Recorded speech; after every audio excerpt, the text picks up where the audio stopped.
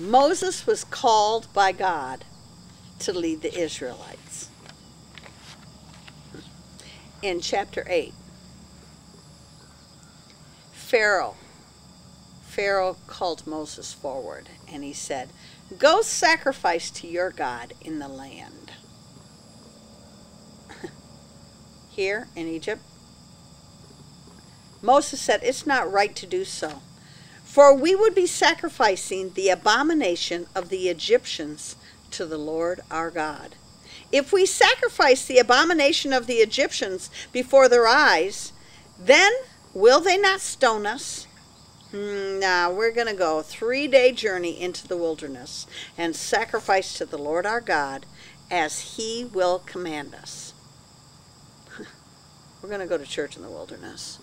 I know. We've got Egypt and we've got all this splendor and look at the city and big pyramids and it's absolutely gorgeous. No, we're, we're not sacrificing here. We're sacrificing and being obedient. God said go three days into the wilderness. A lot can happen in three days, by the way. So Pharaoh said, I'll let you go that you may sacrifice to the Lord your God in the wilderness. Only um, don't go very far away. Shut up. Don't go very far away. Intercede for me let me see. I'm holding your people in bondage, and I'm asking you to intercede to your God for me. Goshen was a place of separation. Goshen is where they lived. Egypt had the plagues. Massive amount. I mean, the plagues. But in Goshen, there was provision, there was protection. The children of Israel were sighing and groaning because of their bondage. They kept crying and crying and crying. And I don't know if you've ever had a child that will not stop whining. I don't really give in to the child. I usually set them on the couch and tell them to knock it off. But God heard their cries. He heard their supplication. And he remembered his covenant. Let my people go so they may celebrate a feast to me in the wilderness. Hmm. Pharaoh had reduced them to severe slavery and infanticide. He killed their future. He killed their babies. He killed their sons from infancy. There was absolutely no hope. They were in bondage. It reminds me of the believers in other countries, the bondage that they're under, even in China. We'll imprison you. But if you give birth to a child, we'll take the child and rip it limb to limb. We will kill your children. We will kill your future. We will kill your hope. And they cry out to God.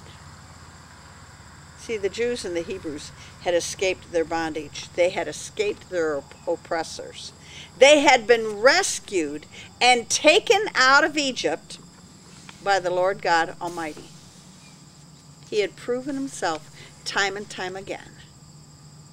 And yet they chose idols to worship. And he said, I'm going to take you into the wilderness. When I heard the Lord say, I'm going to take the church into the wilderness, I freaked out a bit. I thought, but Lord, what does that mean? He said some churches will go bankrupt. Some ministers are going to struggle. They will not know what to do. Some will lose their ministry. Leadership that was once stable and strong will no longer gather. Many will compromise. Wow. Moses was fed up with it all when he saw the people begin to worship idols. He was going to pull back, he was going to recluse himself, he was going to delete his Facebook account, he was going to step out of ministry, he was going to throw in the towel. And God said, No. I actually want you to go and build a tabernacle in the wilderness. and I want you to get away and I want you to go worship me. God is calling his people to a place that is uncomfortable, a place that you're not used to. He's going to call you out to a place where there's no frills and no fluff. The things you're used to, that church used to, those memories, they're not going to be there anymore. I'm really sorry. Things are going to change. It's going to be you and Jesus. I wish I could tell you what I really know and what I see, and I will try to be very honest. But I see that he's going to strip the church to nothing. And he's going to call those that will worship in the wilderness. They will worship with their whole heart, unabandoned. They will stretch forth their arms. They will gather. And it won't be about who's dressed the nicest.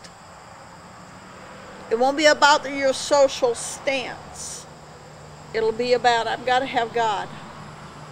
No matter what, I've got to have God. What we've laid in store in the churches in America won't be there no more. There will be people that find comfort to sit on their couch and watch from a distance. There'll be people that'll never again gather. Their choice. God is calling a remnant that not only will gather, they will purify their heart. They will be intense about God.